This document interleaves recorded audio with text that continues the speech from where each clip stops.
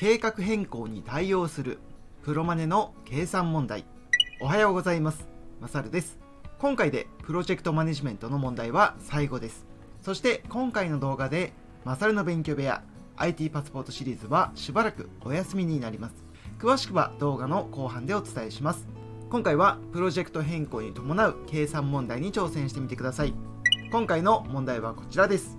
IT パスポート令和3年問36開発期間10ヶ月開発の人件費予算1000万円のプロジェクトがある。5ヶ月経過した時点で人件費の実績は600万円であり成果物は全体の40%が完成していた。このままの生産性で完成まで開発を続けると人件費の予算超過はいくらになるか。あ100万円。い200万円。う250万円。え500万円。どれが正解でしょうか？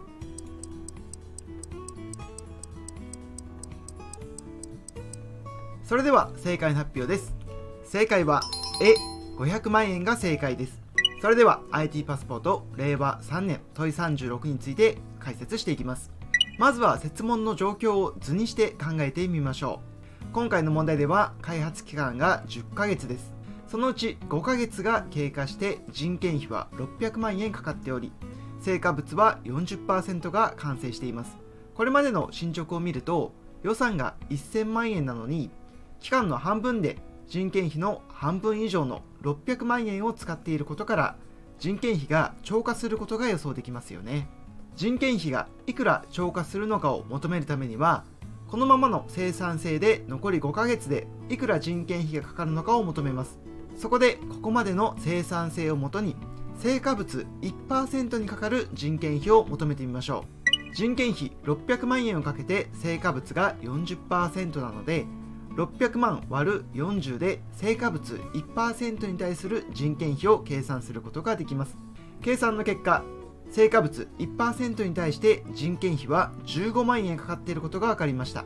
次に残りの60%に対していくら人件費がかかるのか計算しましょう。15万円 ×60% で残り60%にかかる人件費は900万円だということが分かりました。最後にすでに発生している人件費600万円とこれから発生する人件費900万円を足して人件費の合計は1500万円になることが分かります。もともとの予算1000万円から人件費は500万円超過することが分かりました。それでは問題を見直しましょう。開発期間10ヶ月。開発の人件費予算1000万円のプロジェクトがある。5ヶ月経過した時点で人件費の実績は600万円であり成果物は全体の40%が完成していた。このままの生産性で完成まで開発を続けると人件費の予算超過はいくらになるか。正解は A500 万円が正解です。この問題は成果物1%あたりの人件費を求めることで解くことができる問題でした。それではもう1問別の問題にも挑戦してください。IT パスポート令和5年問い55ソフトウェア開発の仕事に対し10名が15日間で完了する計画を立てた。しかし仕事開始日から5日間は8名しか要員を確保できないことが分かった。計画通り15日間で仕事を完了させるためには6日目以降は何名の要員が必要か。ここで各要員の生産性は同じものとする。あ10名い11名う12名え14名どれが正解でしょうか？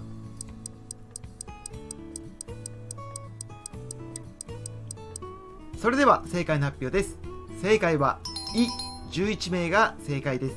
それでは IT パスポート令和5年問い55について解説していきます。今回の問題も図にして理解していきましょう。まずは当初の予定を確認します。当初は10名が15日間かけて完了する計画でした。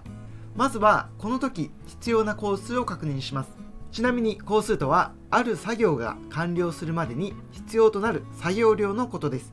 今回は10名が15日間かける作業なので工数は152日と計算することができます。ところがこのプロジェクトでは仕事開始日から5日間は8名しか要員を確保することができなかったとあります。しかしプロジェクト自体は15日間で終わらせることにしたいので6日目以降で要員を増加させることで予定通りに終わらせます。それでは最初に8名が5日間で実施できる工数について求めていきましょう。8名が5日間で実施できる工数は42日です。152日から42日を引いた112日の工数を終わらせる必要があります。残り112日を10日間で終わらせるための要因を計算しましょう。112日割る10日で11名と計算することができます。よって答えは11名です。問題を見直しましょう。ソフトウェア開発の仕事に対し10名が15日間で完了する計画を立てた。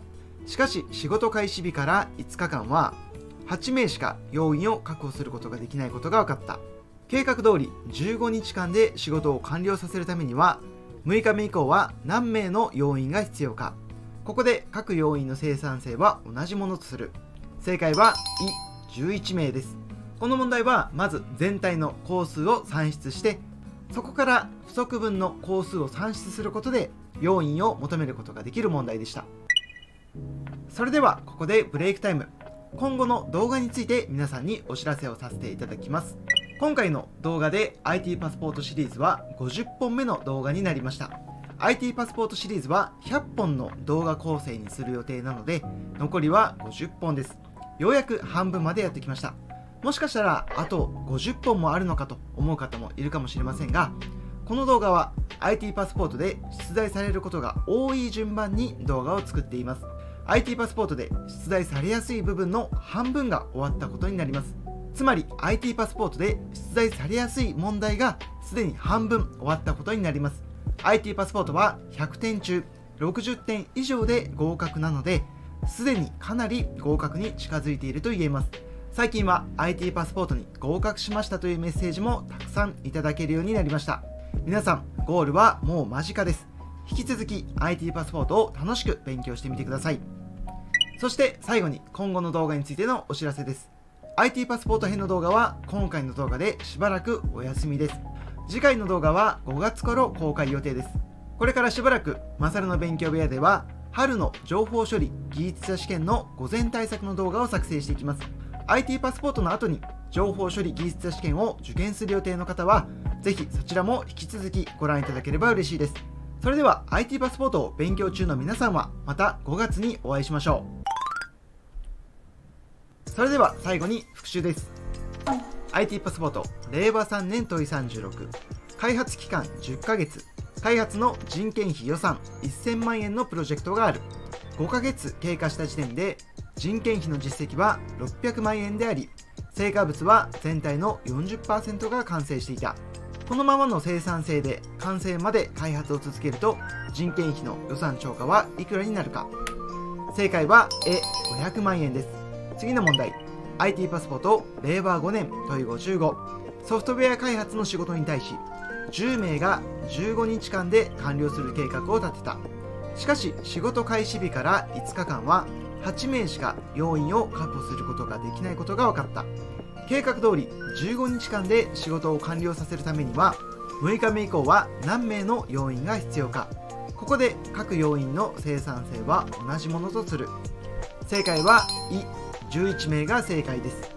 それでは今回も最後までご視聴いただきありがとうございました。もしよろしければ IT を勉強するお友達に動画をシェアしていただけるととても嬉しいです。最後にお知らせです。2024年1月からマサルの勉強部屋が運営するオンライン自習室がスタートしています。IT を一緒に勉強する仲間が欲しい方チャンネルメンバーシップに登録して Discord で行われるオンライン自習室に参加してみてください。詳細は概要欄をご覧ください。皆さんと一緒に勉強できるのを楽しみにしています。